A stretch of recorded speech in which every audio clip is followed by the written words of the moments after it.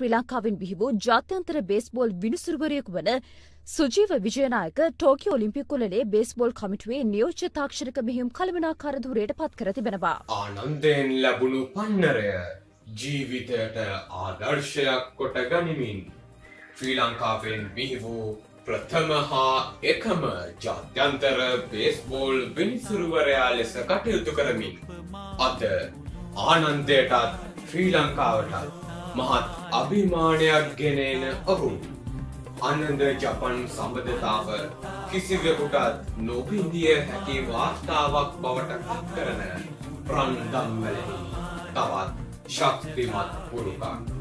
ඉතින් මේ දෙදස් විසියක ටෝකියෝ ඔලිම්පික් කුලලේ එකම ශ්‍රී ලංකා නිලධාරී නියෝජනය. බේස්බෝල් සොෆ්බෝල් නියෝජ්‍ය තාක්ෂණික මෙහෙයුම් කළමනාකාර ආදි ආනන්දීය සුජීව විජයනායකයන් අන්නන්ද ඔබ අමතන මොහොතයි.